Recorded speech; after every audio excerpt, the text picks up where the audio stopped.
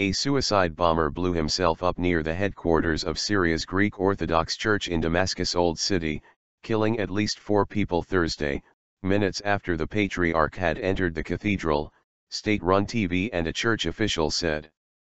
The blast in the ancient quarter of narrow streets and historic buildings was the first reported suicide attack of the Syrian civil war inside the Old City, although other such bombs have struck the capital of Damascus during the conflict. The blast struck in the vicinity of the Virgin Mary Cathedral in the predominantly Christian neighborhood of Bab Sharqi, the broadcast said, although it was not clear if the church was the attacker's target. Several people also were wounded, the TV said. SANA, Syria's state-run news agency, said a nearby clinic run by a Muslim charity appeared to be the target. That was also the view of Bishop Ghattas Hazim, who spoke to the Associated Press from Lebanon. Lebanon's Al Mayadeen TV, which has reporters in Damascus, said the target of the attack appeared to be a nearby post of the National Defense Forces, a paramilitary force fighting the rebels who are trying to topple President Bashar Assad. Residents also disagreed about the target, with some saying the bomber may have detonated the explosives prematurely. Pro-government gunmen were seen roaming the streets afterward. The blast occurred nearly 15 minutes after John Yazigi, the Eastern Orthodox Patriarch of Antioch and all the East, entered the church, but he was unhurt, according to Hazim, an aide. A government official told the AP that the bomber was wearing a belt of explosives and blew himself up near the church. Both the official, who spoke on condition of anonymity because he was not authorized to talk to the media, and state TV said at least four people were killed. SANA said eight people were wounded. An AP reporter who visited the area saw that the explosion occurred about 50 meters, yards, from the church and damaged several shops. An antiques shop suffered the worst damage, with its windows shattered and objects strewn about. I heard an explosion. Then glass started flying, and the place was full of dust, said shop owner Abdo Mukri, whose right arm and forehead were injured. I was watching television inside. Had I been near the door, I would have been dead. State-owned Al Akhbariya TV showed a body near the shop. About three hours after the blast, two shells struck the area. A wounded man and woman were seen being rushed away. Bab Sharqi and the nearby Bab Toma, two main areas of the old city, were famous for their restaurants and cafes that used to be packed until late at night before the civil war began.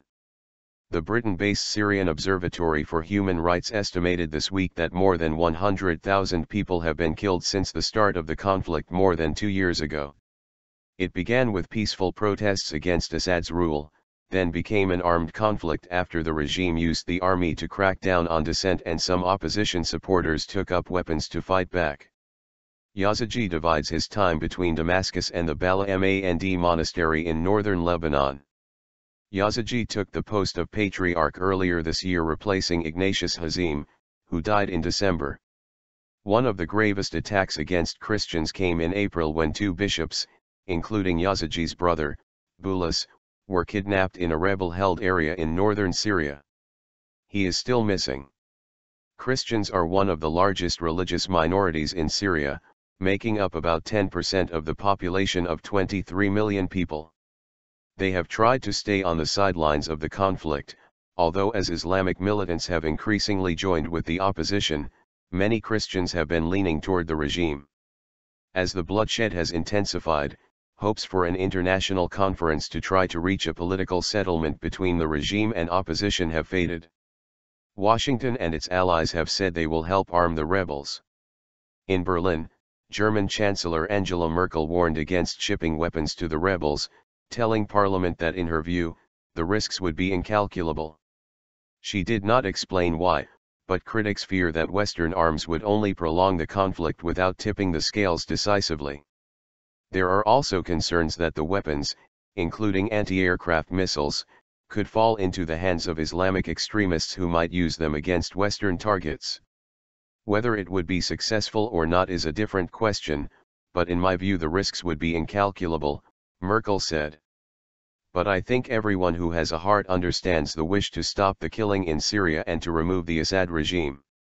In Moscow, the defense ministry said that Russia has withdrawn all military personnel from its naval base in Syria and replaced them with civilian workers. The ministry did not say when the switch at the base at Tartus took place or how many personnel were deployed there. The minor facility is Russia's only naval outpost outside the former Soviet Union and consists of several barracks and depots used to service Russian Navy ships in the Mediterranean. The ministry statement said that Tartus has continued to service the Russian Navy ships. The ministry didn't explain why it was replacing military personnel with civilians, but the move could be part of efforts by Moscow to portray itself as an objective mediator trying to broker peace talks in the civil war. Russia has been Assad's main ally, shielding his regime from the UN Security Council sanctions and continuing to provide it with weapons.